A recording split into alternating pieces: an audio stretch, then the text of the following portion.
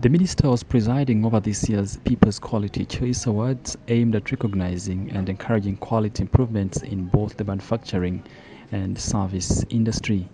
The country manager Africa Rectic said brand placement and quality products. So it's within this context that we are here to give you awards. And as we open up the economy, we know that we believe in the, the theory the invisible hand determining the forces of demand and supply. And we are sure and aware that sometimes this invisible hand can be dirty.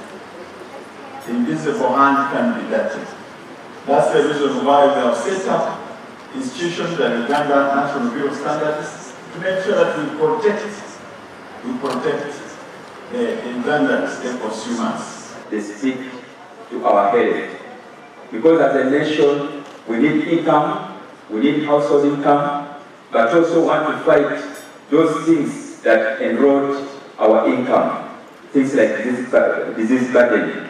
So I want to say that thank you so much, the organizers, and the message I give to, to our dear participants as I congratulate you is make sure that you are satisfied. Satisfied have your product certified and follow the quality framework. Follow the quality framework so that you are not only competitive in Uganda, but also in the region. Have kept them competitive in the market over the years.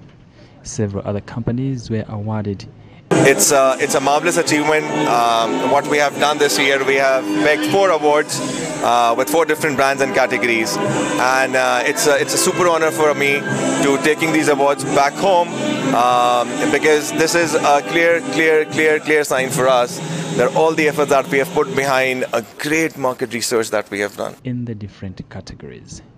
Story by Simon Semazi for the news.